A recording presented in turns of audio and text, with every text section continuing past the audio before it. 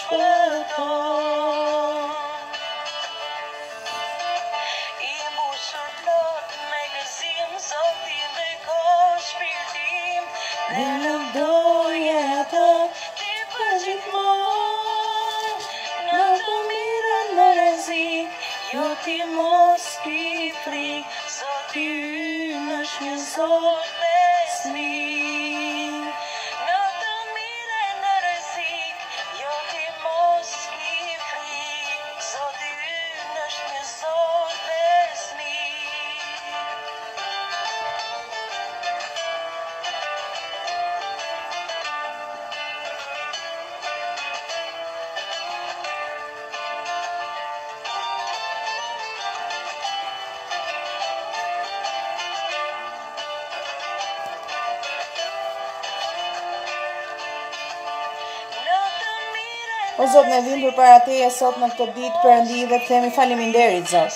Faliminderit Perëndi për këtë kohë, Zot, që të kalojmë së bashku me motra dhe vllezrit. Faliminderit, Zot, për dashurinë Perëndi që ti ke për ne, o Zot. Faliminderit, o Zot, për gjakun tënd, Zot, që ti ke derdhur në kryq për ne, o Zot. Faliminderit, o Zot, për trupin tënd, Perëndi.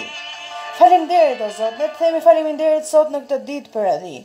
I bekuar qoftë emri yt Perëndia im i shenjtë, i bekuar qofsh ti Perëndi. Dhe të themi faleminderit për këtë ditë Perëndi, për këtë ditë të re Zot. Ne vim përpara teje Zot të gjunjëzuar Perëndi, dhe kërkojmë falje Zot, për çdo gabim Perëndi, ne kërkojmë falje o Zot për çdo thashethem Zot, ne kërkojmë falje o Zot për çdo gjë të gabuar që ne kemi bërë në jetët tona Zot. Na fal Perëndi, na ndrysho o Zot dhe na shenjtëro Perëndi. Ne duam të vijmë përpara Teje o Zot të shenjtëruar Perëndi, sepse emri yt është i shenjtë o Zot, dhe ne të themi faleminderit Zot. Faleminderit Perëndia im i shenjtë që Ti je i shenjtë Zot, dhe ne jemi bijtë e Tu o Zot, ne të falenderojmë Perëndi. Ne vijmë përpara Teje sot në këtë ditë Perëndi, dhe kërkojmë o Zot, fryma Jote e shenjtë o Zot, le të mbushë zemrat tona, fryma Jote e shenjtë Zot le të mbushë mendjet tona Zot, Fryma jote e shenjtë le të jetë në këto momente me ne. Eja Perëndia im i shenjtë, eja Zot, eja dhe beko këtë takim o Zot, eja dhe drejto o Zot çdo fjalë që do flasim Perëndi, le të jetë e drejtuar prej Teje o Zot, çdo gjë o Perëndi, le të jetë vetëm prej Teje Perëndi, na përdor Perëndia im i shenjtë, ashtu siç Ti do o Zot, le të bëhet vullneti yt Perëndi në jetën tonë o Perëndi.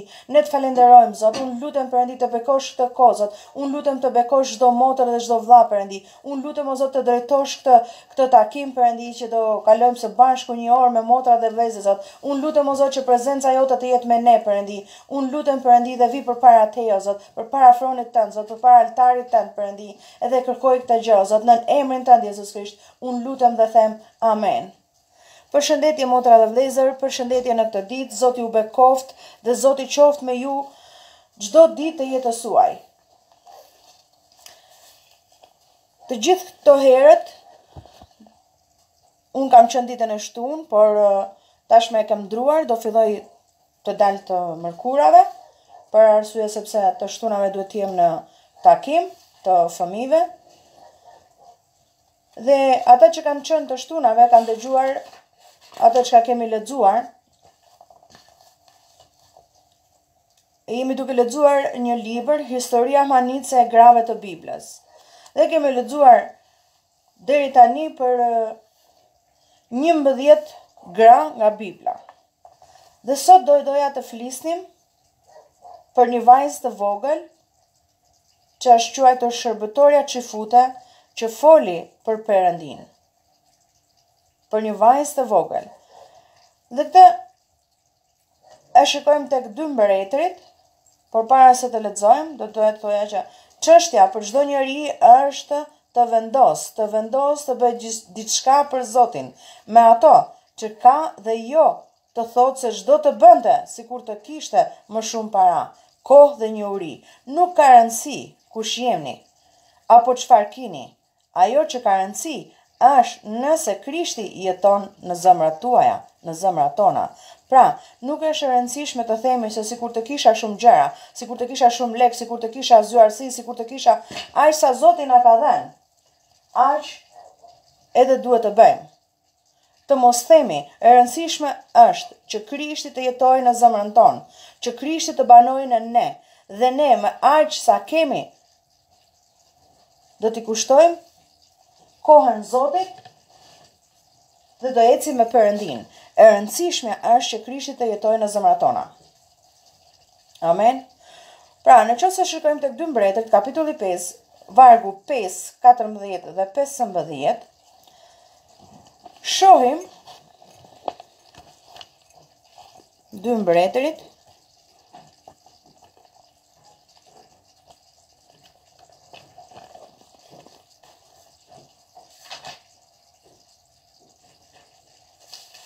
Dy mbretërit kapitulli 5 vargu 5 Atëherë mbreti i Sirisë tha Shko pra Unë do t'i dërgoj një letër mbretit të Izraelit. Ai pra u nis duke marrë me vete 30 talente argjendi, 600 mijë sikla ari dhe 10 palë ndresa. 14 dhe 15. Atëherë ai zbriti dhe u zhyt shtatë herë në Jordan, sipas fjalës të njeriut të Perëndisë. Mishi i tij u bë si mishi i një fëmije të vogël, dhe ai u pastrua, pastaj u kthye me gjithë suitën e tij te njeriu i Perëndisë. Shkoi e u paraqit para tij dhe tha, Tani e pranoj, që nuk ka asnjë Perëndi në gjithë dheun përveçse në Izrael. Prandaj, tani prano një dhuratë, të lutem, nga shërbëtori yt. Amen. Namani, komandanti i ushtrisë siriane, vuante nga lebra. Ai ishte një ushtar trim.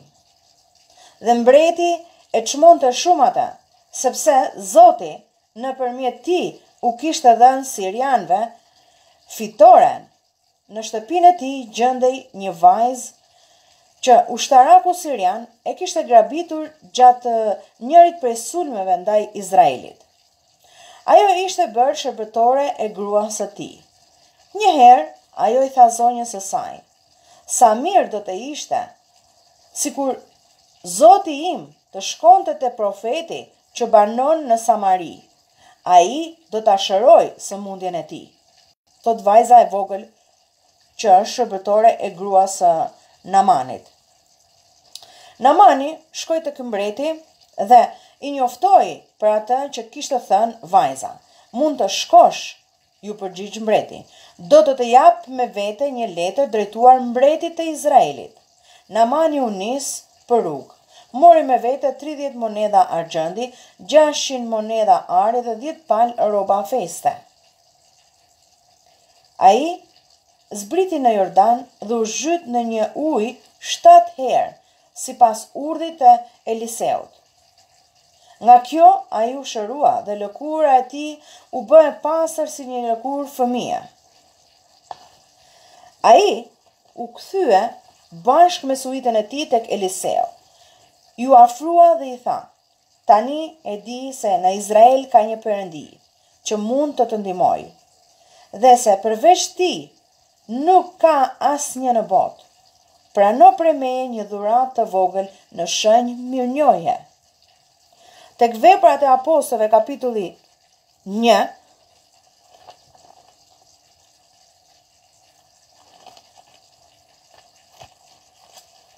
Tek Veprat e Apostujve, kapitulli 1, vargu 8,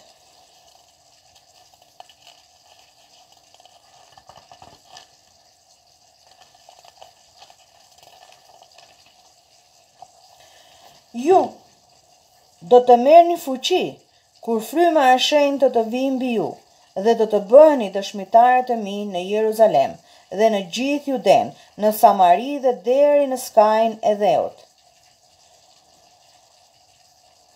Pra, Zoti thotë që ju do të mbusheni me Shpirtin e Shenjtë, Ai do t'ju bëjë të aftë për t'u paraqitur kudo si dëshmitarët e mi, në Jeruzalem dhe në mbarë Judenë, në Samari dhe deri në skajin më të largët të botës. Në vitin 850 para Krishtit, në Izrael ishte vendosur zyrtarisht paqja, por, megjithatë, trupat e mbretit sirian Ben Hadad Vazhdonin atje të kryenin bastisje dhe të zinin robër. Mirë se erdhe motër Flora, Zoti të bekoftë motër, Zoti qoftë me ty. Një ditë ata zunë rob një vajzë të re çifute, që s'e kishte kaluar të pesëmbëdhjetat. Emri saj nuk përmendej në Bibël, ndoshta sepse ajo që është rreth Është thënë rreth saj Ishte kaq interesante, sa e bëri emrin e saj të parëndësishëm. Vajza u bë shërbëtore e gruas së Namanit, komandantit të ushtrisë së mbretit. Namani ishte një oficer i aftë dhe shumë me shumë influencë. Mbreti kishte një konsideratë të lartë për vlerat e tij të mëdha në fushën e betejës. Ai ishte rezultat i lutjeve të prindërve të saj që e nderonin Perëndinë, apo ishte përgjigja e vetë thirrjes së zemrës së saj për Perëndinë, që kjo vajzë kishte përfunduar në një shtëpi kaq të mirë prej tregut të skllevërve në Damask. Mirë se erdhe motër Diana Zoti të bekoftë motër Zoti qoftë me ty dhe familjen tënde Në këtë kohë Namani ishte tejet i shqetësuar. Shtëpinë e tij e kishte pllakosur një hall i madh, që nuk po i shqitej dot. Ai e kishte kuptuar tashmë se i kishte rënë sëmundja e tmerrshme e lebrës.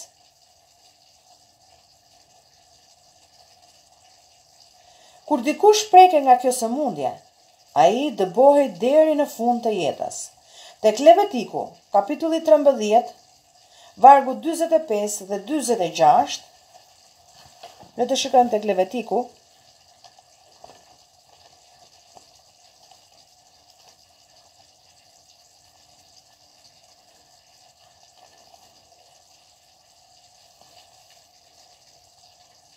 Trembëdhjetë.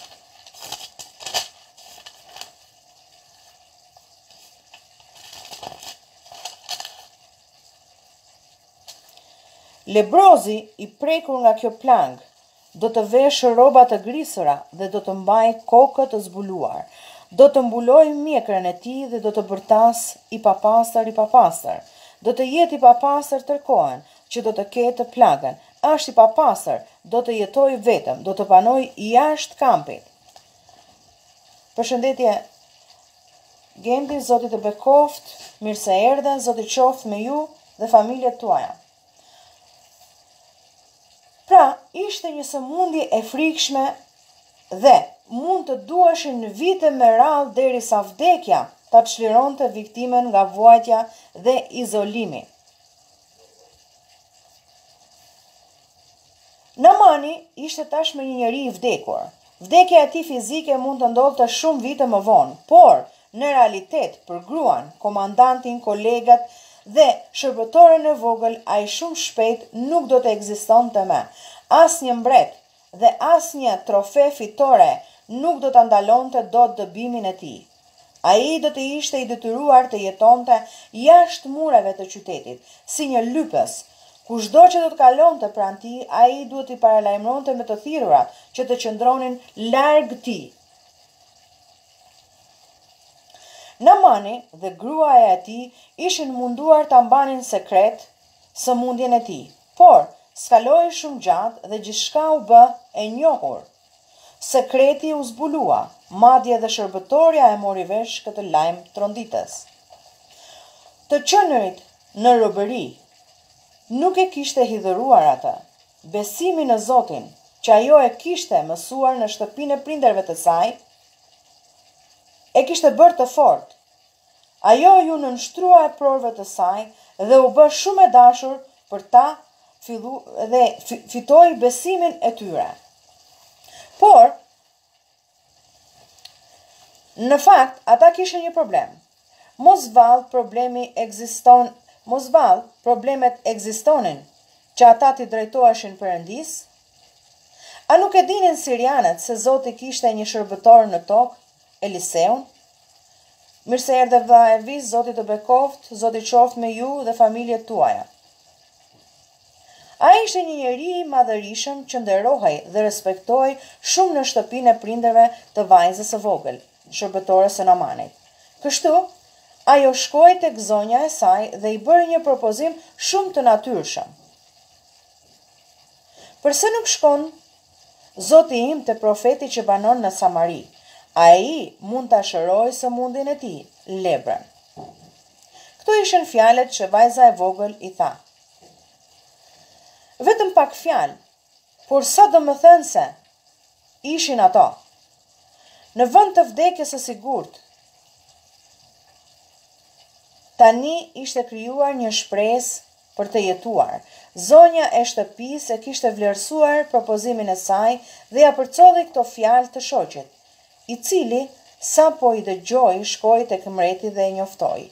Mbreti dha urdhër që ai të nisej menjëherë, ndërkaq Namani u nis menjëherë për në Samari, për t'u takuar me profetin Eliseu, duke marrë me vete dhurata të shumta.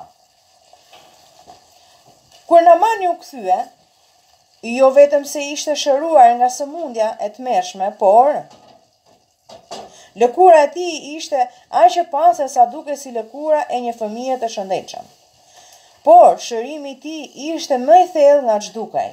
Zemra e tij kishte ndier diçka të fuqishme. Tani ai kishte besim tek Perëndia e Izraelit. Ai tha, Tani e di! se në Izrael ka një Perëndi që mund të ndihmojë dhe se përveç Tij nuk ka asnjë perëndi tjetër në botë. Nga një adhurues idhujsh, ai tashmë ishte kthyer në adhuruesin e Zotit që vepron.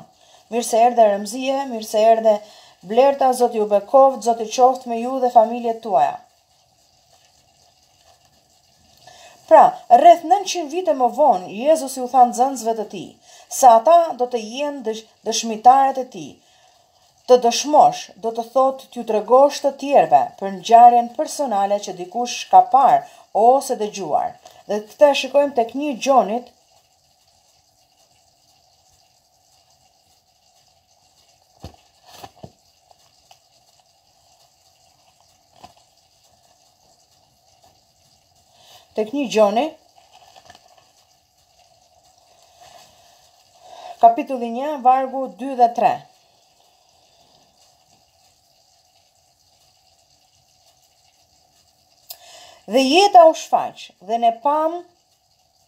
e dëshmojmë për të dhe ju shpallim jetën e përjetshme që ishte pranë Atit dhe që na u shfaq neve.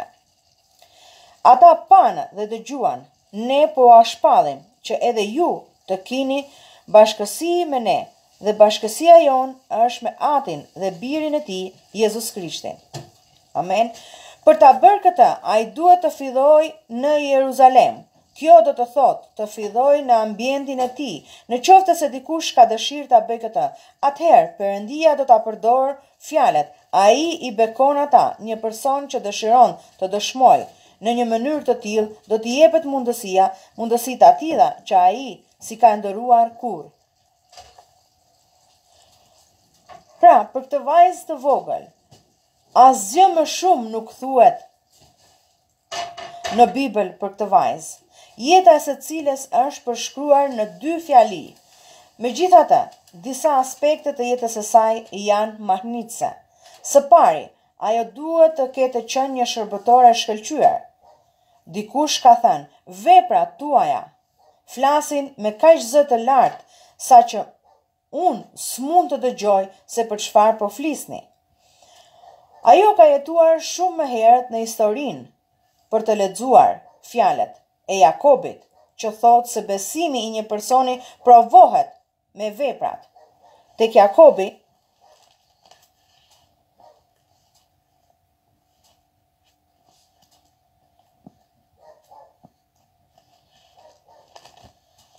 Shkojmë tek Jakobi.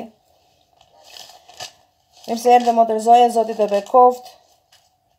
Zoti qoftë me ty dhe familjen tënde.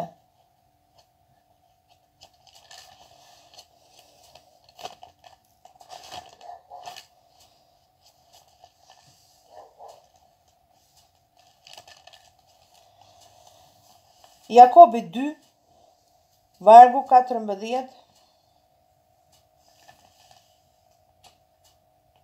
Ç'dobi ka, vëllezër të mi, nëse dikush thotë se ka besim, por nuk ka vepra, a mund ta shpëtojë atë besimi?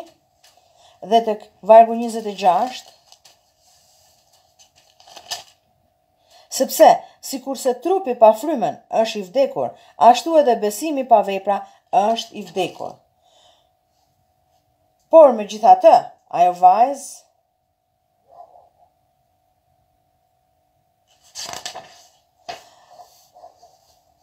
Pra, me gjithë kjo, megjithatë, vajza kishte vepra të mira në atë shpi. Sepse nuk thuhet asnjë gjë tjetër për këtë vajzë më tutje. Ajo zbatoi dhe do të atë që do të predikonte më vonë Jakobi. Pra, ajo vajzë i kishte zbatuar më përpara se të vinte Jakobi. Veprat e tij, veprat e saj i kishin hapur rrugën fjalëve dhe ajo u dëgjua me seriozitet nga Zoti dhe zonja e saj. Pra, një shërbëtore e vogël, u, dë, u dëgjua nga Zoti dhe zonja e saj në shtëpinë ku ajo shërbente. Së dyti, ajo nuk heshti nga turpi dhe nuk mendoi se ishte tepër e re për të thënë diçka të rëndësishme.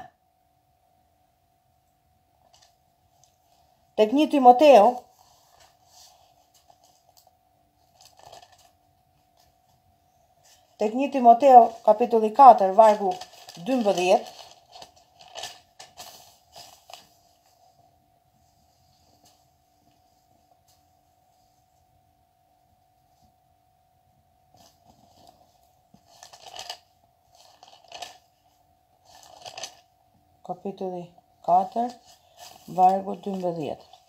Askush të mos e shpërfill moshën tënde të re, por bëhu shembull për besimin në fjalë, në sjellje, në dashuri, në frymë, në besim dhe në dëlirësi.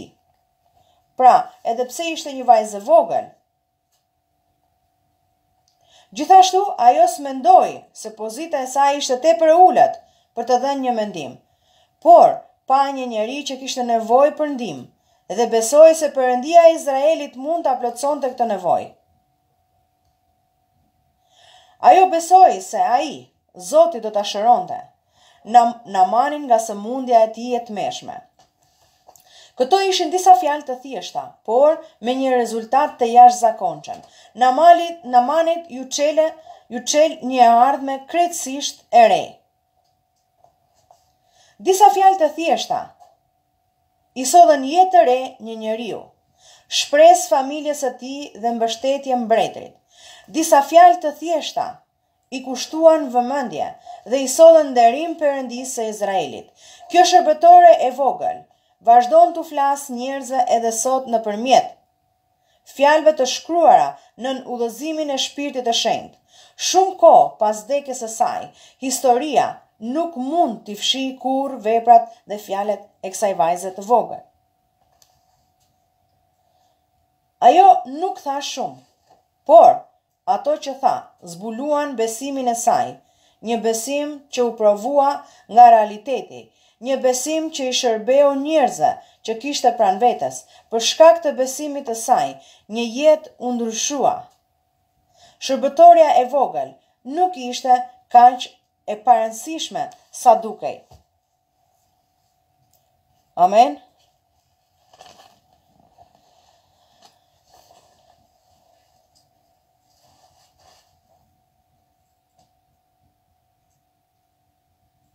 Ky është Zoti ynë, motra dhe vëllezër.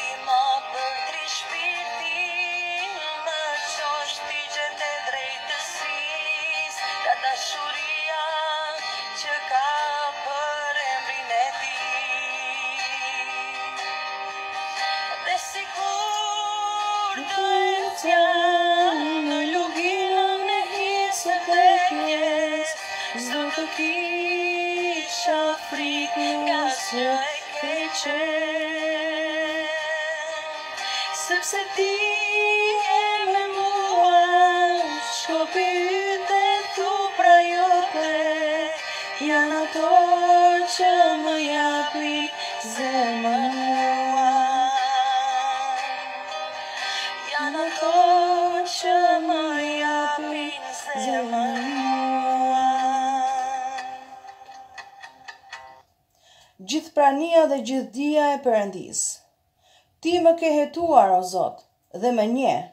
Ti e di kur ulem dhe kur ngrihem. Ti e kupton nga larg mendimin tim. Ti e shqyrton me kujdes ecjen time dhe pushimin tim dhe i njeh thellë të gjithë rrugët e mia. Sepse edhe para se të jetë fjala mbi gojën time, o Zot, e di Atë plotësisht. Ti më rrethon nga pas dhe përpara dhe ve dorën tënde mbi mua. Njohja jote është shumë e mrekullueshme për mua, aq e lartë sa unë nuk mund të arrij. Ku mund të shkoja larg frymës sate, ose ku mund të ikja larg pranisë sate? Në rast se ngjitem në qiell, ti je atje, në rast se shtrij shtratin tim në sheol, ti je edhe aty, në rast se marr krah krahët e agimit dhe shkoj të banoj në skajin e detit, edhe aty dora jote do do të më udhëheqë dhe dora jote e djathtë do të më kapë. Po të them me siguri, terri do të më fshehë, madje dhe nata do të bëhet dritë rreth teje. Terri vetë nuk mund të fshehë asgjë, madje nata shkëlqen si dita. Terri dhe drita janë të barabarta për ty. Por ti ke formuar të përbrendshmet e mia, ti më ke endur në barkun e nënës sime.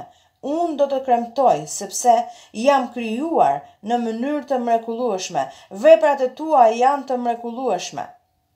Dhe unë e di shumë mirë këtë gjë, kockat e mia nuk ishin një e fshehtë për ty kur u formova në fshehtësi duke u endur në thellësitë e tokës.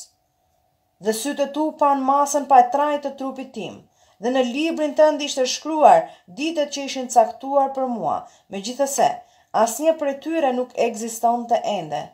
Oh, sa të çmuara janë për mua, mendimet e tua, o Perëndi!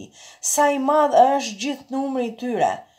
Po do të doja t'i numëroja, do të ishin më të shumtë se rëra, kur zgjohem jam ende me ty, me siguri, ti do të vrasësh, të pabesin o Perëndi, prandaj ju, njerëz gjakatarë, largohuni nga unë, ata flasin me pabesi kundër teje, armiqtë e tu përdorin më kot emrin tënd, a nuk i urrej vallë ata që të urrejnë, o Zot, dhe, a nuk i urrej ata që ngrihen kundër teje? Unë i urrej me një urrejtje të përsosur, ata janë bërë armiqtë e mi. Më heto o Perëndi dhe njihe zemrën time, më provo dhe njihi mendimet e mia, dhe shiko nëse ka tek unë ndonjë rrugë të keqe dhe më udhëhiq nëpër rrugën e përjetshme. Amen.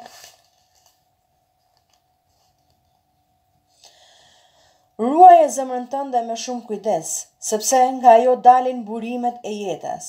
Hiq dorë nga e folura me hile dhe largo prej teje buzët e çoroditura. Sytë e tu le të shohin drejt dhe qepallat e tu të sundojnë drejt para teje.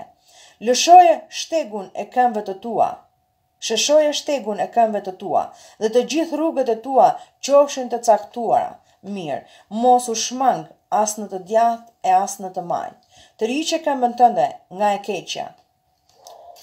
Amen. Ishim tek psalmet edhe tek fjalët e urta.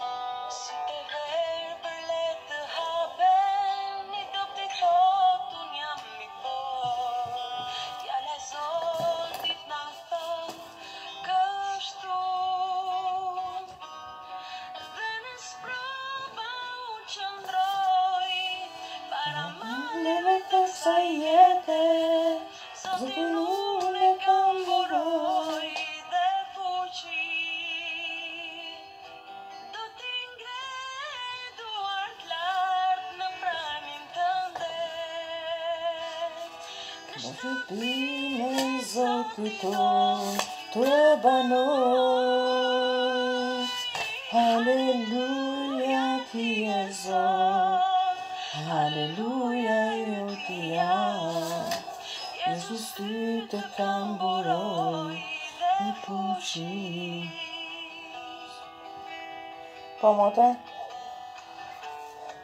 Zot Perëndi ne vijmë përpara teje, Zot. Dhe të themi faliminderit o Zot për këtë ditë, Zot. Faliminderit o Zot për fjalën tënde Perëndi. Unë sjell përpara fronit tënd, Zot, përpara altarit tënd, Zot, motër Dianën Perëndi. Faleminderit o Zot për këtë motër, o Zot. Faleminderit o Zot që ajo të do ty Perëndi. Faleminderit o Zot që ajo të ndjek ty Perëndi. Faleminderit o Zot që ajo ka vënë besimin në ty Perëndi. Unë e sjell përpara teje, o Zot, e sjell përpara teje Atë Perëndia im i shenjtë dhe kërkoj o Perëndi që ti ta bekosh Perëndi me personin e duhur o Zot i dashur. Ta bekosh o Perëndi me një martesë të bekuar Perëndi.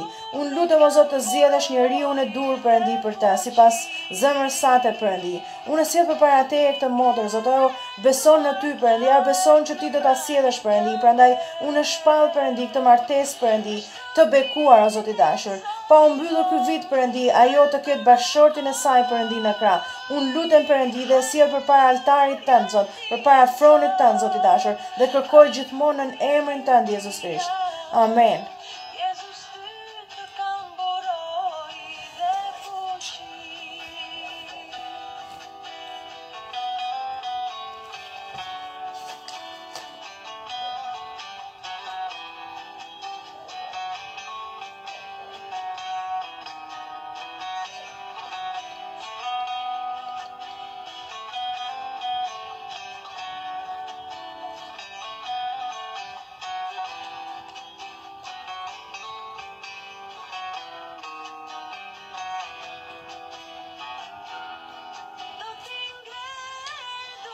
Po, Perëndi ne vijmë përpara teje, Zot dhe sjellim këtë motër Perëndi që vëlla Genti e ka sjellë përpara teje, Zot.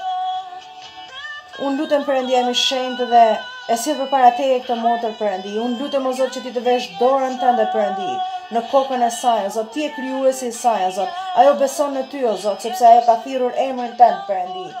O zot, ne i themi atij tumori, atij Kanceri Perëndi të zhduket një herë e përgjithmonë Zot ta thash ti Perëndi me me rrenjë Perëndi dhe të vesh dorën tënde Perëndi mbi kokën e saj o Zot gjaku yt o Perëndi le të fshijë le të pastrojë Zot çdo infeksion Zot çdo sëmundje o Zot dhe çdo gjë që ka në kokën e saj Perëndi unë lutem Perëndia im i shenjtë ajo është bija jote Perëndi dhe e sjell përpara fronit tënd o Zot që ti të veprosh Perëndi sepse ne jemi bijtë e tu o Zot dhe ne kemi privilegjet e tona Perëndi sepse ti na i ke dhënë Zot prandaj unë sjell këtë motër o Perëndi E sjell përpara Teje, o Zot, dhe lutem, o Perëndi, që Ti të marrësh në kontroll jetën e saj, o Zot i dashur. Unë lutem, o Zot, dhe e shpall të bekuar, o Zot, e shpall të shëruar nën emrin Tënd, Zot, e shpall të shëruar nën emrin Tënd, Perëndi, sepse Ti je Perëndia e dashurisë, o Zot, ashtu siç Ti, Perëndi, shërove Namanin nga lebra, Perëndi, Për ty asgjë nuk është e pamundur, Perëndi, asgjë, o Zot i dashur, prandaj unë sjell përpara Teje këtë motër, o Zot, që Ti, o Perëndi, do veprosh në këto momente, Perëndi, dhe Ti, o Zot i dashur, do bësh mrekulli në kokën e kësaj motër, Perëndi. Unë lutem, o Zot, si gjithmonë, nën Emrin Tënd, Jezus Krisht. Amen.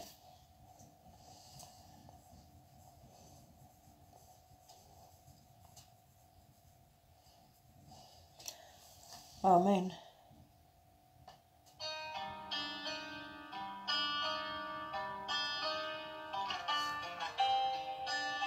Le t'i themi Zotit faleminderit në këtë ditë, sepse atij i takon falenderimi. Perëndia ka dashuri për njerëzit. Ai dëshiron që ju të provoni paqen e tij, për të qenë të gëzuar dhe të lumtur në çdo drejtim. Kjo do të thotë të jetosh në paqe me Perëndinë dhe me njëri tjetrin. Ashtu siç thuhet tek, tek Gjoni 3 vargu 16. Sepse Perëndia e deshi aq botën sa dha birin e tij të vetëmlindur, që kushdo që beson në të, të mos humbasë, por të ketë jetën e përjetshme.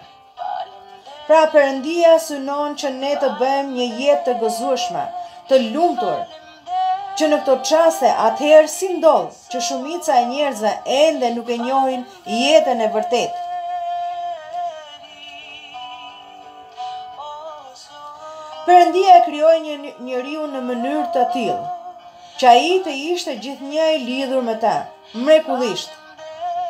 Ai i dha atij një jetë të bukur. Perëndia nuk e krijoi njeriun si një robot, që ta donte dhe t'i bindej atij automatikisht.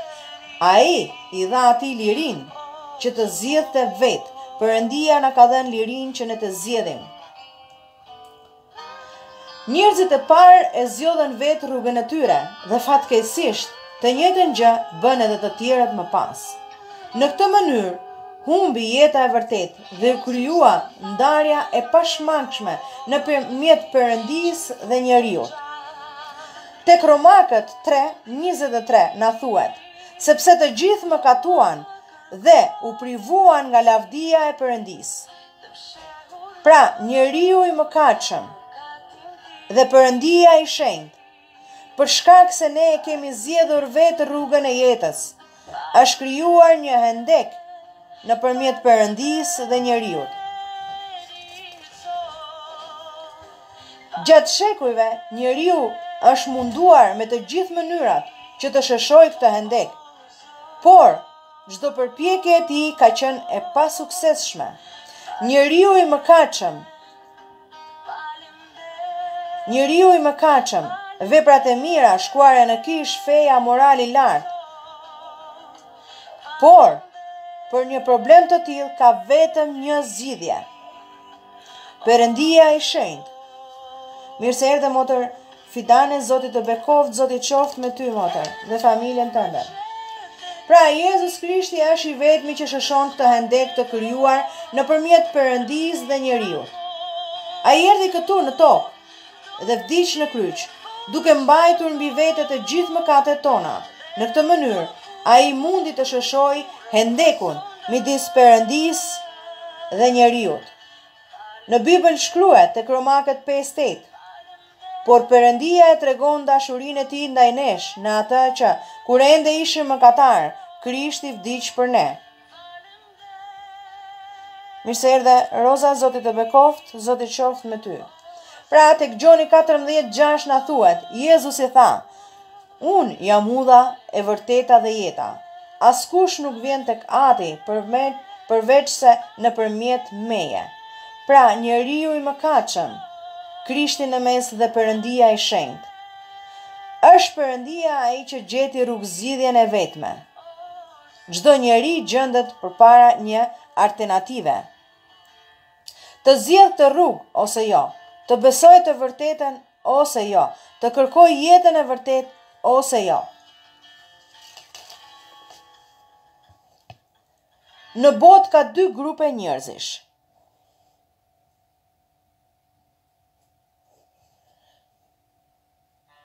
Në botë ka dy grupe njerëzish. Në njërin grup qëndrojnë ata njerëz që jetojnë të ndarë nga Perëndia me të gjithë pasojat e kësaj ndarjeje. Në grupin tjetër qëndrojnë të gjithë ata që njohin Perëndinë si Atin e tyre të shenjtë, nëpërmjet Jezu Krishtit. Ata kanë marrë faljen e Perëndisë dhe bëjnë një jetë të lumtur dhe pa shqetësime. Këta njerëz kanë një qëllim në jetë dhe jeta e tyre ka kuptim. Pra, ky pra është ai në të cilin ne e quajmë besim. Ne duhet të kemi besim tek Jezu Krishti dhe duhet të pranojmë atë personalisht, si Zot në jetën tonë.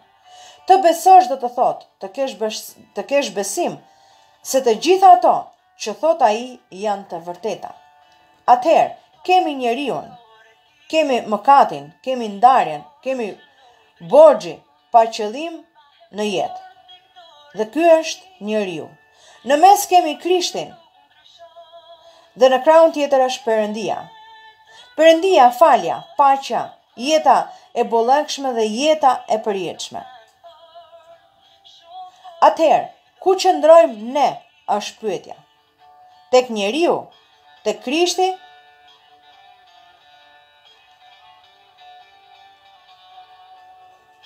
Kjo është një pyetje që i bëhet gjithsecilit.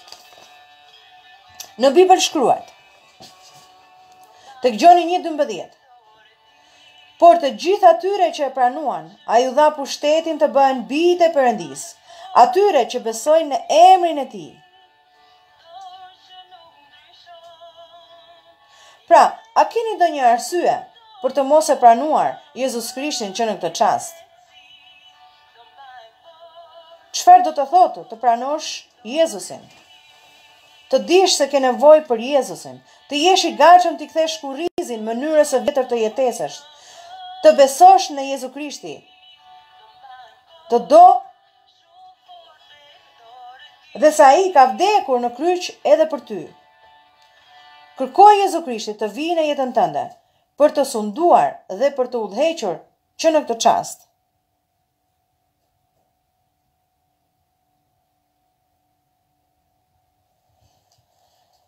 Për këtë ju duhet të luteni. Drejtojuni Perëndisë me këtë lutje.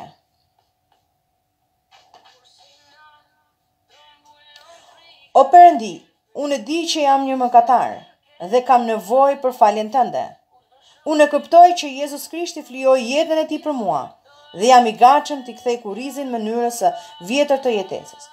Lutem që Jezu Krishti të hyjë në zemrën time dhe në jetën time, që në këtë çast, në mënyrë që të kem mundësi për të takuar si atin tim të shenjtë, dhe që të njoh më mirë. Unë jam i gatshëm që me ndihmën tënde të shkoj hap pas hapi dhe t'i bindem atij si Zot dhe shpëtimtar. Amen. Pra, motra dhe vëllezër, mos harroni, siguria e kësaj jete të re nuk varet nga ty, as nga përvoja, por ajo bazohet mbi ato që Perëndia thotë në Bibël.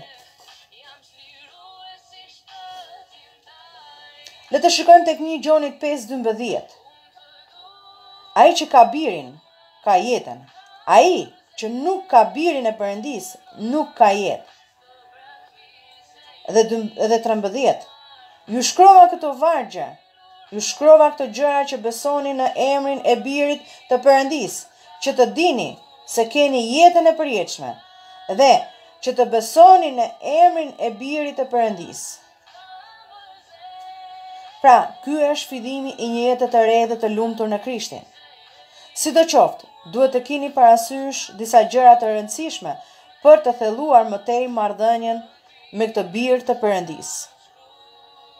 Le të lexojmë Biblën, sepse nëpërmjet këtij libri njihemi më mirë me Jezus Krishtin, pavarësisht se në fillim nuk do ta keni çdo gjë të qartë. Këtë gjë mund ta bëni vetë, por edhe me të tjerë. Bibla është fjala e shkruar e Perëndisë. Ju mund të flisni me Perëndinë. Një proces të tillë ne e quajmë lutje.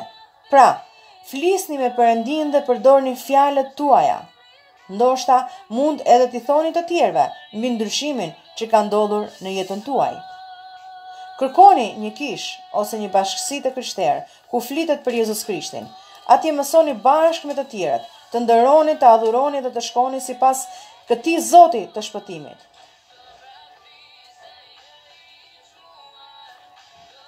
Amen.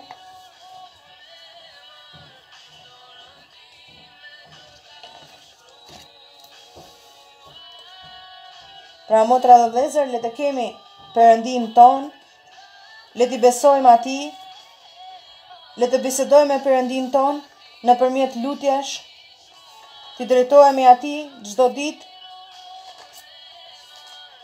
Le mos kemi frikë motra dhe vëllezër Por le të shkojmë dhe të paraqitemi përpara Perëndisë Dhe t'i parashtrojmë çdo gjë atij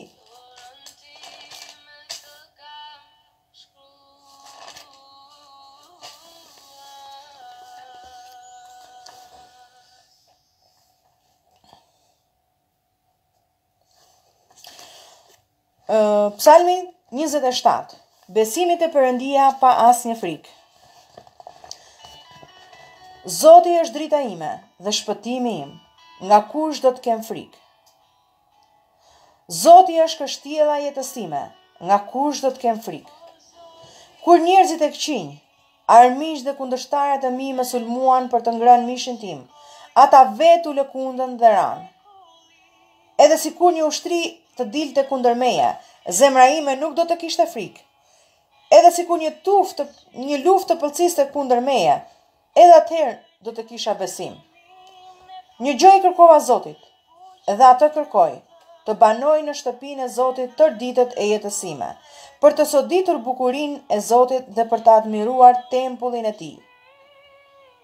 Sepse ditën e fatkeqësisë, ai do të më fshehë në çadrën e tij, do të më fshehë në një vend sekret të banesës së tij, do të më lartojë mbi një shkëmb. Dhe tani koka ime, do të ngrihet mbi armiqtë e mi që më rrethojnë dhe do të ofroj në banesën e tij flijime me britma gëzimi. Do të këndoj dhe do të kremtoj lavdimet e Zotit. O Zot, dëgjoje zërin tim kur të këlthas ty, ki mëshirë për mua dhe përgjigjmu. Zemra ime më thotë nga ana jote, kërkoni fytyrën time. Unë kërkoj fytyrën tënde, o Zot. Mos ma fshih fytyrën tënde, mos e hidh poshtë me zemërim shërbëtorin tënd. Ti ke qenë ndihma ime, mos më lër dhe mos më braktis, o Perëndi e shpëtimit. Edhe sikur babai im dhe nëna ime të më kishin braktisur, Zoti do të më kishte pranuar. O Zot, më mëso rrugën tënde dhe më udhëhiq në një shteg të sheshtë, për shkak të armiqve të mi. Mos më braktis në dëshirat e armiqve të mi, sepse kanë dalë kundër meje dëshmitarë të rremë, njerëz që duan dhunë. O sikur të mos isha e sigurt të shoh mirësinë e Zotit dhe dheun e të gjallëve. Ki besim të madh tek Zoti. Ji i fortë, ki zemër, ki besim të madh tek Zoti. Amen. Pra motra dhe vëllezër le të kemi besim tek Jezus Krishti. Sepse Zoti thotë, Ai është drita jonë, ai është shpëtimi jonë, nga kush do të kemi frikë? Ai është kështjella jon, nga kush do të kemi frikë? Faleminderit Perëndisë për fjalën e tij, faleminderit Zotit për premtimet e tij, faleminderit Zotit për gjithçka që ai ka bërë në jetën tonë dhe vazhdon të bëjë. O Zot Perëndi, ne vijmë përpara teje sot në këtë ditë dhe themi faleminderit Zot. Faleminderit Perëndia im i shenjtë për këtë kohë që kaluam së bashku Zot. Faleminderit o Zot për uh, fjalën tënde o Zot i dashur. Faleminderit Perëndi. Faleminderit o Zot, faleminderit o Perëndi që kjo botë kërkon për një hero sot Zot. Dhe më i madhi je ti o Perëndi, më i plotfuqishmi o Zot, ti je mbreti i mbretërve, ti je sundimtari i kombeve o Zot. Dhe faleminderit Perëndi, faleminderit o Zot i dashur. Pra, faleminderit o Zot që ti erdhe o Zot i dashur dhe more o Zot një trajtë shërbëtori këtu në tokë Zot. Edhe vdiqe o Perëndi, vdiqe o Zot i dashur që ne të gjenim shpëtim në ty Perëndi. Ne të falenderojmë Zot, ne ne të shpallim sot Perëndi dhe thërrasim Dhe të thërrasim o Zot i dashur me zë të lartë o Zot, Ti je një kampion o Zot, Ti je fitimtar o Zot, Ti je plotfuqishëm o Zot, Ti je i Ti je heroi o Zot, Ti o Zot i dashur që nga vdekja o Zot i dashur na çlirove o Zot. Faleminderit o Jezus Krisht, faleminderit Perëndia im i shenjtë, faleminderit o Jezus, Ne vim përpara Teje, o Zot i dashur, dhe të themi faleminderit, o Zot. Faleminderit, o Zot, që Ti vdiqe në kryq, o Perëndi, për mëkatet tona, Perëndi. Unë vi përpara Teje, o Zot, dhe sjell motrat e mi dhe vëllezërit e mi, o Zot. Unë lutem, o Zot, për familjet e tyre, o Zot, unë lutem për to, Perëndi. Unë lutem, o Perëndi, që t'i bekosh, t'i mbrosh, o Perëndi. Gjaku Jot, o Zot, le të jetë mburojë, o Zot, për gjithsecilin, Perëndi, që ka vënë besimin në Ty, Perëndi. Gjithsecili, o Zot, që beson, Zot, dhe thret emrin Tënd, Perëndia im i shenjtë. Unë të falenderoj, Zot, falimderit o Perëndi për çdo gjë o Perëndi që ti bën në jetët tona, o Zot. Unë vi përpara teje, o Zot, dhe them faliminderit, Perëndi. Faliminderit, o Zot i dashur. Faliminderit, o Zot, që ti na ke dhënë mundësinë, Perëndi, për të shpallur fjalën tënde, o Zot. Faliminderit, Jezus. Faliminderit, Perëndi. Unë lutem, o Zot i dashur, dhe lë çdo gjë në duart e tua, o Zot.